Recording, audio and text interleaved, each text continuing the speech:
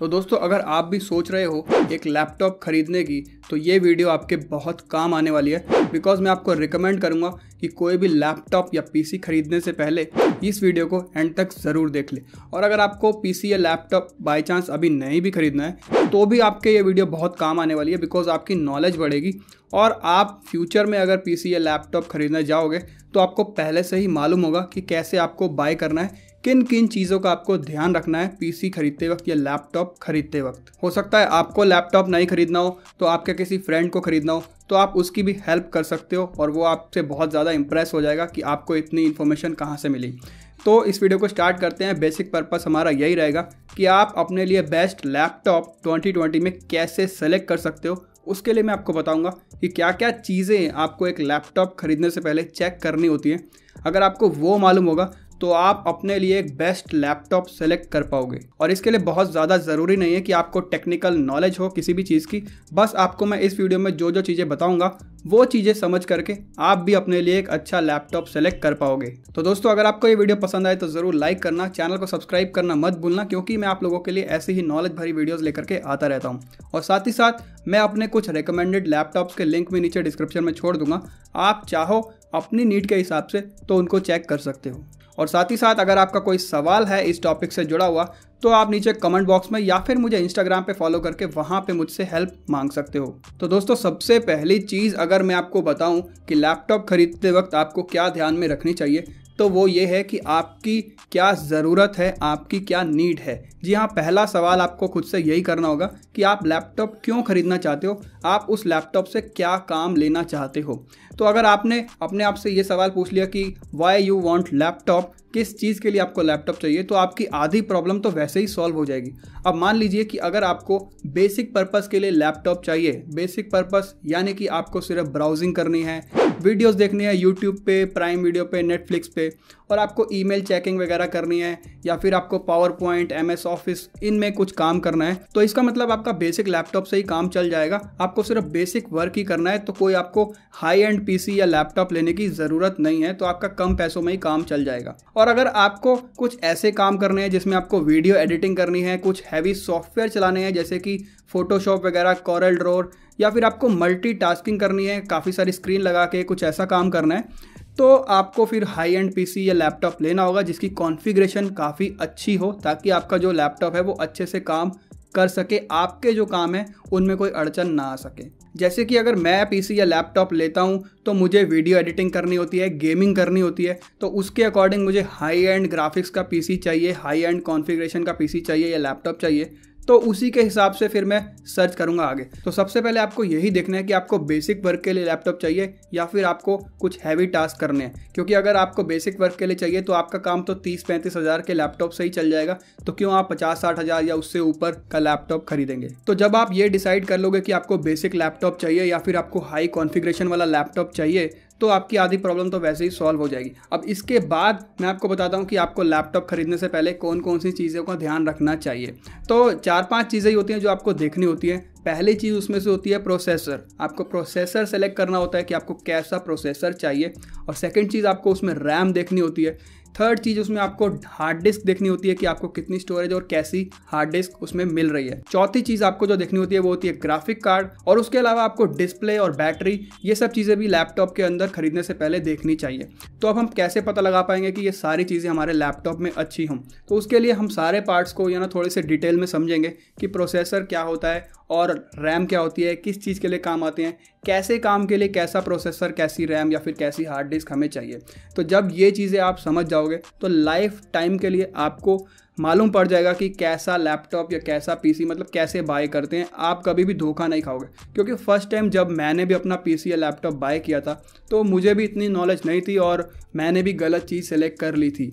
तो मैं चाहता हूँ कि अब आपको मैं बता ही रहा हूँ तो लाइफ टाइम के लिए आपको ये चीज़ समझ में आ जाएगी कि अगर आपको कभी भी लैपटॉप फ्यूचर में या कभी भी बाय करना है तो आपको किसी की हेल्प की ज़रूरत नहीं पड़ेगी। आप खुद ही शॉप पे जा कर के अपनी चीज़ सेलेक्ट कर पाओगे। अब प्रोसेसर की बात करें तो प्रोसेसर मेनली दो कंपनीज़ के आते हैं, एक ए के आते हैं और एक आते हैं इंटेल के, जो कि मेनली यूज़ होते हैं। तो अब ए के प्रोसेसर आज से कुछ साल पहले तक समझे जाते थे कि अगर आपको लो बजट का पीसी या लैपटॉप लेना है तो उसमें ही वो मतलब ठीक रहते हैं। अगर आपको हाई एंड कॉन्फ़िगरेशन का लेना है लैपटॉप तो उसमें इंटेल के लोग ज़्यादा प्रेफर करते थे। लेकिन आजकल ऐसा नहीं है, आजकल एएमडी के भी प्रोसेसर जो हैं, वो हाई एंड लैपटॉप्स या पी में भी काफ़ी अच्छी परफॉर्मेंस देते हैं।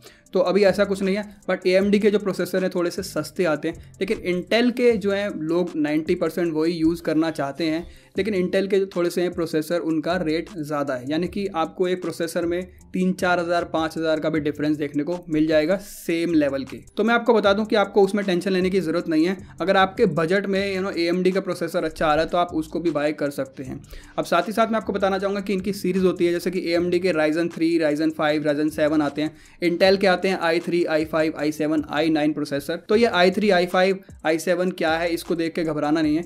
इसमें मैं आपको ये भी समझाने वाला हूँ कि i three i five i seven ऐसे क्यों आते हैं। और इसके साथ साथ ये भी बताऊँगा कि i three fifth generation six generation seven generation आपको ये भी देखा होगा आपने कि हर प्रोसेसर में अलग अलग जनरेशन होती है। उसका भी मतलब हम समझेंगे। तो इंटेल के जो प्रोसेसर है, उनका नाम है i three processor i seven processor i five तो ये जो लेटेस्ट प्रोसेसर हैं, यानी कि पहले आई थ्री आता था, फिर आई फाइव आया आई सेवन आया, अब आई नाइन चल रहा है। अब क्या होता है कि इनमें कोर्स होती है। आई थ्री में यू नो दो कोर होती हैं डुअल कोर होता है। अब आई फाइव जो होता है, उसमें दो से चार कोर तक हो सकती हैं। अब जो आई सेवन प्रोसेसर है, उसमें आपको आठ कोर तक मिल जाएँगी। ऐसे ही आई नाइन में हो सकता है ज़्यादा कोर आपको देखने को मिल जाएँ।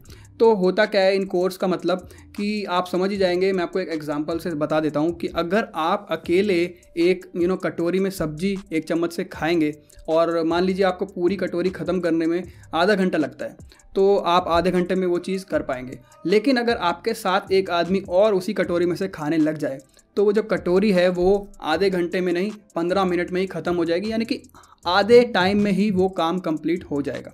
तो ऐसे ही कोर्स का होता है कोई भी कोर अगर ज़्यादा होगी तो जल्दी काम ख़त्म हो जाएगा। तो इसीलिए दो कोर जो है, वो कुछ काम कर पाएँगी, चार कोर जो है, उससे ज़्यादा काम कम टाइम में कर पाएँगी। तो आपको समझ में आ गया होगा कि ये कोर्स क्या होती है, क्योंकि जितनी ज़्यादा कोर जिसमें हमें मिल रही है, उतना ही पावरफुल वो प्रोसेसर होता है। अब बात करते हैं आपको, इसके साथ में जनरेशन भी देखने को मिलती है। तो कंपनीज़ क्या होती हैं, जो अपना जैसे इंटेल फाइव उनका प्रोसेसर आया तो उसको ना इम्प्रूव करने में लगी रहती हैं और हर साल यू नो उसको इम्प्रूव करके नया वर्जन उसका लॉन्च करती हैं, जैसे कि fifth generation six generation seven generation उसमें क्या करती हैं, उसकी जो ट्रांजिस्टर्स होते हैं ना, उनका साइज़ छोटा करने में लगी रहती है कंपनी और उसको कॉम्पैक्ट और पावरफुल बनाने में लगी रहती है। अब साइज़ छोटा करने से क्या होता है कि वो बैटरी कंजम्पशन भी कम करते हैं और उनकी परफॉर्मेंस भी अच्छी हो जाती है। तो परफॉर्मेंस उनकी अच्छी हो जाती है और बैटरी कंजम्पशन कम हो जाती है तो उनका प्राइस भी बढ़ जाता है, क्योंकि उस पर जो है कंपनी एक साल, दो साल मेहनत करती है, फिर उसको लॉन्च करती है नई टेक्नोलॉजी के साथ में। तो आपको मालूम पड़ गया कि you know i three i five processor का क्या मतलब है और उसके अंदर जो जनरेशन होती है, वो उनका क्या मतलब है। अब आपके काम के लिए कौन सा सुटेबल रहेगा? अगर आपको बेसिक वर्क करना है ब्राउजिंग सिर्फ़ वीडियोज़ देखनी है ई चेक करना है, ये सब चीज़ें करनी है तो आपको आई थ्री प्रोसेसर भी आपके लिए काम कर जाएगा, यानी कि दो कोर्स का प्रोसेसर काफ़ी होगा। अब उसमें आपको बताता हूँ कि अगर आपको ज़्यादा काम करना है, आपको वीडियो एडिटिंग करनी है टेन पी में और आपको थोड़ी बहुत गेमिंग करनी है तो आपको आई फाइव प्रोसेसर लेना होगा। तो अगर आपको उससे भी ज़्यादा हैवी काम करना है, यानी कि आपको 4K रेजोल्यूशन में एडिटिंग करनी है गेमिंग करनी है आपको हाई एंड ग्राफिक्स के साथ में तो आपको i7 या फिर i9 प्रोसेसर चुनना होगा। तो ये सिंपल है, जितना आपको ज़्यादा काम करना है, उतना आपको हाई कॉन्फ़िगरेशन का प्रोसेसर लेना होगा और आपको उतने ही पैसे पे करने होंगे। अब बात करते हैं रैम की। अब रैम की भी अलग अलग यू नो जनरेशन आती है, लेकिन उसको बोला जाता है D D R three RAM D D R four RAM D D R five RAM तो उसमें भी लेटेस्ट वर्जन जो है वो इम्प्रूव वर्जन होते हैं और वो फास्ट काम करते हैं, यानी कि जो रैम का काम होता है रीड और राइट का डाटा तो जितनी लेटेस्ट रैम होगी, उतने फास्ट जो है रीड और राइट आपके कंप्यूटर में वो काम करेगी। तो आपको जो है अपने प्रोसेसर के हिसाब से ही रैम भी सेलेक्ट करनी होती है। अगर आपका आई थ्री प्रोसेसर आप ले रहे हो तो उसमें चार जी बी तक रैम आपका जो है एनफ काम करके देगी आपको। उसमें आपको आठ जी या सोलह जी रैम लगाने की कोई ज़रूरत नहीं है, क्योंकि प्रोसेसर को ज़रूरत ही नहीं है ज़्यादा रैम की। तो इसीलिए अगर आप आई थ्री लेते हैं तो चार G B RAM RAM enough है। अगर आप आई फाइव प्रोसेसर लेते हो तो उसके हिसाब से यू नो आठ जी की रैम आप लगा सकते हो। आठ जी की रैम लगाओगे, तभी यू नो आप उसको पूरी प्रॉपर तरीके से यूज़ कर पाओगे, उसकी कैपेसिटी को, उसकी पावर को। और साथ ही साथ अगर आप आई सेवन यू नो लेते हो प्रोसेसर तो आपको सोलह जी की रैम तक की ज़रूरत पड़ेगी। तभी वो चीज़ ढंग से मतलब आप अपना मल्टीटास्किंग जो आपको हार्ड कोर काम करना है, वो आप कर पाओगे। और इससे बढ़ते हैं तो फिर आप उसको बत्तीस जी भी यूज़ कर सकते हो आई नाइन लगाते हो तो। तो ये जो कॉम्बिनेशन एक आइडल कॉम्बिनेशन माना जाता है। बाकी आप अपने हिसाब से इसको थोड़ा सा बढ़ा भी सकते हो तो उससे थोड़ी सी परफॉर्मेंस जो है इंप्रूव हो सकती है। अब बात करते हैं यहाँ पे तीसरे कंपोनेंट की जो बहुत ही इंपॉर्टेंट है, लेकिन बहुत सारे लोग इसको इंपॉर्टेंट नहीं समझते हैं, वो है हार्ड डिस्क जी हाँ आपको अपने लैपटॉप में कैसी हार्ड डिस्क चाहिए, ये भी बहुत इंपॉर्टेंट करता है, क्योंकि आपकी परफॉर्मेंस जो है लैपटॉप या पीसी की हार्ड डिस्क पे भी डिपेंड करती है। वो सिर्फ़ एक स्टोरेज की यू नो डिवाइस ही नहीं है। तो मैं आपको बता दूँ कि आज से कुछ टाइम पहले तक यू नो एच ही चलती थी और वही जो है, हमारे पास एक ऑप्शन था, लेकिन अब ना दूसरा ऑप्शन है, उसका नाम है एसएसडी यानी कि सॉलिड स्टेट ड्राइव अब एच और सॉलिड स्टेट ड्राइव में क्या डिफरेंस है, मैं आपको बता देता हूँ। अभी तक HDD आपको ज़्यादातर लैपटॉप में देखने को मिलती थी, लेकिन अब जो है, ज़माना SSD का है। SSD जो है, वो बहुत फास्ट होती है, उसकी जो रीड और राइट की जो कैपेसिटी होती है वो काफ़ी फास्ट होती है, स्पीड उसकी काफ़ी फास्ट होती है। एचडीडी की जो होती है वो स्लो होती है क्योंकि एचडीडी में मूविंग पार्ट्स होते हैं और एसएसडी में यू नो चिप्स वगैरह का ट्रांजिस्टर वगैरह का यूज़ किया जाता है, उसमें मूविंग पार्ट्स नहीं होते हैं। एस यू नो एक वो टेक्नोलॉजी पे बनी हुई है, जैसे कि आपके फ़ोन में एक मेमोरी कार्ड होता है। लेकिन मैं आपको बता दूँ एच जो है वो काफ़ी सस्ती पड़ती है और उसमें आपको काफ़ी ज़्यादा स्टोरेज मिल जाती है। लेकिन वहीं पर जो एसएसडी है सॉलिड स्टेट ड्राइव वो काफ़ी ज़्यादा एक्सपेंसिव है और उसमें आपको स्टोरेज काफ़ी कम मिलती है। तो इसीलिए आपको अगर लैपटॉप में वन टीबी की हार्ड डिस्क लगानी है तो जितने में आप HDD लगा पाओगे, उतने में आप यू नो एसएसडी अगर लगाओगे उस प्राइस में तो आपको आधे या आधे से भी कम स्टोरेज मिलेगी। लेकिन आज के टाइम में एसएसडी होना लैपटॉप में बहुत ज़रूरी है। अगर आप ट्वेंटी में लैपटॉप खरीद रहे हो इसके आने वाले टाइम के बाद तो आप ये ध्यान रखना कि SSD स्टोरेज होना बहुत ज़रूरी है। बिकॉज़ अगर आप लैपटॉप लोगे HDD वाला तो एक आध साल आपका ठीक चलता है, उसके बाद काफ़ी स्लो वर्क करने लगता है और आपको लगता है कि आपका लैपटॉप जो है वो ख़राब हो गया। तो वो चीज़ डिपेंड भी करती है आपकी हार्ड डिस्क पे। लेकिन अगर आप ओनली एसएसडी यूज़ करते हो तो स्टोरेज बहुत कम हो जाती है क्योंकि वो बहुत एक्सपेंसिव है। लेकिन आजकल कॉम्बिनेशन आ रहा है लैपटॉप्स में, आपको एसएसडी भी देखने को मिल जाती है वन या फिर टू फिफ्टी तक, और आपको साथ में वन की हार्ड डिस्क जो कि एचडीडी है वो भी मिल जाती है। तो आप ऐसा कॉम्बिनेशन वाला लैपटॉप चूज़ कर सकते हैं, उसमें जो है प्राइस बैलेंस भी हो जाता है, और आपका जो ऑपरेटिंग सिस्टम है वो एसएसडी में इंस्टॉल किया जाता है, और भी आपके जो सॉफ्टवेयर्स हैं वो एसएसडी में इंस्टॉल हो जाते हैं, और जो आपका लैपटॉप है, वो काफ़ी फास्ट वर्क करता है। उसकी जो बूट की स्पीड है, वो भी काफ़ी तेज़ होती है। रीड और राइट की स्पीड भी काफ़ी तेज़ होती है। और यू नो जब अपडेट करते हो आप उसको लैपटॉप को तो भी काफ़ी तेज़ होता है। रेंडरिंग वगैरह, वो सब काफ़ी तेज़ हो जाती है।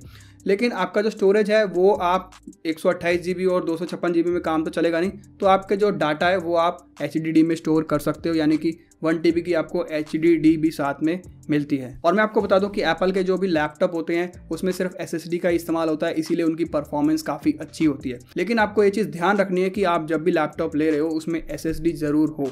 हो सकता है एसएसडी वाला थोड़ा सा महँगा होगा, लेकिन वो आपकी लैपटॉप की यू नो लाइफ के लिए और परफॉर्मेंस के लिए काफ़ी ज़रूरी है। इसके बाद बात करते हैं ग्राफिक कार्ड की। अगर आपको यू नो अपने लैपटॉप में गेमिंग करनी है वीडियो एडिटिंग करनी है तो आपको उसके हिसाब से ग्राफिक कार्ड डेडिकेटेड चाहिए ही चाहिए। क्योंकि ग्राफिक कार्ड से ही आपके यू नो स्क्रीन पे सारी इमेजेस आती हैं, सारी विजुअलाइजेशन आपको ग्राफिक कार्ड की मदद से ही देखने को मिलती है। तो अगर आपको फोर के यू नो गेमिंग करनी है वीडियो एडिटिंग करनी है तो आपको हाई रेजोल्यूशन में चीज़ें देखने के लिए ग्राफिक कार्ड आपके लैपटॉप में डेडिकेटेड होना बहुत ज़रूरी है। अब उसके अंदर भी रैम होती है, जैसे कि दो जी का ग्राफिक कार्ड चार जी का ग्राफिक कार्ड तो अगर आपको जितना हैवी काम करना है, उतना आपको हैवी ग्राफिक कार्ड भी आपके लैपटॉप या पीसी में लगाना ही पड़ता है। तो अगर आपको उस तरीके का काम करना है गेमिंग करनी है वीडियो एडिटिंग करनी है तो आपको ग्राफिक कार्ड वाला लैपटॉप ही सेलेक्ट करना है। इसके बाद बात करते हैं डिस्प्ले की। यू नो आपको पता है तेरह इंच की डिस्प्ले चौदह इंच की डिस्प्ले पंद्रह इंच, सोलह इंच की डिस्प्ले आपको लैपटॉप में देखने को मिलती है। तो यू नो उससे एक्सपीरियंस अच्छा होता है आपका, जो देखने का होता है मूवीज़ वगैरह या फिर कोई भी चीज़ें होती हैं। तो उसके हिसाब से ही आपको अपनी डिस्प्ले भी सेलेक्ट करनी होती है कि आपको कैसा काम करना है। डिस्प्ले तीन तरीके की होती है यू नो आपको एचडी डिस्प्ले मिल जाएगी सेवन ट्वेंटी पिक्सल की टेन यानी कि फुल एचडी डिस्प्ले और आपको एक अल्ट्रा एचडी डिस्प्ले भी मिल जाती है, इसमें आपको फोर के यू नो वीडियोज़ वगैरह का एक्सपीरियंस मिल जाता है, जिसको फोर के स्क्रीन बोलते हैं। तो आपको अपने काम के हिसाब से ही स्क्रीन भी सिलेक्ट करनी है। ज़रूरी नहीं है कि आप फोर के डिस्प्ले वाला लैपटॉप ही सेलेक्ट करो, लेकिन मैं आपको सलाह दूँगा कि कम से कम फुल एचडी डिस्प्ले वाला यू नो लैपटॉप तो आप सेलेक्ट करो ही अपने लिए, क्योंकि एचडी डिस्प्ले में आप कहीं ना कहीं फिर फिर मतलब बोर हो जाओगे, आपको वो अच्छा एक्सपीरियंस नहीं मिलेगा। इसके अलावा बहुत इंपॉर्टेंट चीज़ है बैटरी लैपटॉप की, क्योंकि अगर आपको लैपटॉप चलाना है और पावर नहीं है तो पाँच छः घंटे या नो सात घंटे का बैकअप तो आपको लैपटॉप में मिलना ही चाहिए। तो लैपटॉप खरीदने से पहले आपको उसका बैटरी बैकअप भी चेक करना है और आपको ये भी चेक करना है कि आपको फास्ट चार्जिंग का सपोर्ट मिल रहा है कि नहीं मिल रहा है। क्योंकि आज की डेट में यू नो फास्ट चार्जिंग अगर आपको लैपटॉप में नहीं मिल रही है तो मतलब मज़ा नहीं आता। तो वो भी आपको चीज़ें ध्यान में रखनी है कि बैटरी बैकअप अच्छा हो और आपको साथ में जो है फास्ट चार्जिंग का सपोर्ट मिल जाए। और इसके अलावा बहुत सारी चीज़ें आपको लैपटॉप में और देखने को मिल जाएँगी। जितने पैसे आप लगाओगे, उतना महँगा लैपटॉप आपको मिल जाएगा। जैसे कि आपको टच स्क्रीन लैपटॉप मिल जाएगा अगर आप महँगा लेना चाहो तो। या फिर आपको फोल्डेबल लैपटॉप देखने को मिल जाएँगे आज की डेट में। और आजकल यू नो फिंगरप्रिंट भी स्कैनर भी आ रहा है लैपटॉप में, क्योंकि आपको पासवर्ड से यू नो अपना लैपटॉप खोलने की ज़रूरत नहीं है। सिर्फ़ फिंगरप्रिंट टच करो, आपका लैपटॉप जो है वो ओपन हो जाएगा। तो ये सब चीज़ें जितना पैसा आप डालोगे, उतनी आपको मिलती जाएँगी। बट मेन चीज़ आपकी जो परफॉर्मेंस है लैपटॉप की, वो डिपेंड करती है आपकी प्रोसेसर पे रैम पे और जो चीज़ मैंने बताई हार्ड डिस्क पे और ग्राफिक कार्ड पे। तो ये चार चीज़ें आपको बहुत ज़्यादा ध्यान में रखते हुए अपने काम के हिसाब से सेलेक्ट करनी है। ऐसा नहीं है कि आपको बेसिक वर्क के लिए आपने हाई एंड पीसी या लैपटॉप ले लिए, ज़्यादा पैसे खर्च कर दिए। और उससे आपका नुकसान ही होगा। जब आपने यूज़ ही नहीं करनी तो इतनी हैवी मशीन लेने का क्या फ़ायदा? और अगर आपको हैवी काम करना है और आपने अगर यू नो कम कॉन्फ़िगरेशन वाला पीसी लैपटॉप ले लिया तो आप पछताओगे। तो इसीलिए ये सारी चीज़ें जो मैंने आपको बताई, ये सारी चीज़ें ध्यान में रखते हुए भी अगर आप अपना डिसीज़न लोगे तो आप एक अच्छा लैपटॉप बाय कर पाओगे अपने लिए। और मुझे उम्मीद है कि आपको इस वीडियो से काफ़ी हेल्प मिलेगी। अगर आपको इसके बारे में और जानना है तो मैं नीचे एक रिटर्न आर्टिकल भी लिख के नीचे डिस्क्रिप्शन में लिंक छोड़ दूँगा। आप वहाँ पर जाके ये जो सारी चीज़ें मैंने समझाई हैं, आप उसको डिटेल में पढ़ सकते हो वहाँ पर जाके। और मैं साथ में अच्छे कुछ लैपटॉप जो मेरी रिकमेंडेशन है, उनके लिंक भी छोड़ दूँगा। आप जाके उनके प्राइस और उनके यू नो कॉन्फ़िगरेशन चेक कर सकते हो। फ़िलहाल इस वीडियो में इतना ही। मैं मिलता हूँ आपसे नेक्स्ट वीडियो में। तब तक के लिए टेक केयर